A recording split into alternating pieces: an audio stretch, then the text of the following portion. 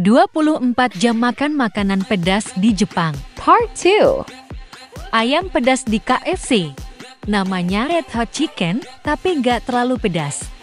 Bulan kemarin ada saus pedas, tapi sekarang nggak ada. Makanan pedas di Jepang nggak pedas.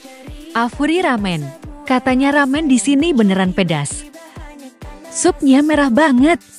Baru pertama kali jadi pesan level 4. Katanya pedas, tapi nggak pedas mungkin karena aku udah terbiasa. Dagingnya ayam dan lembut banget.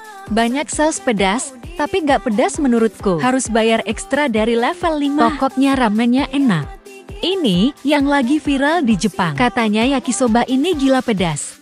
Saus gila pedas. Baunya udah pedas.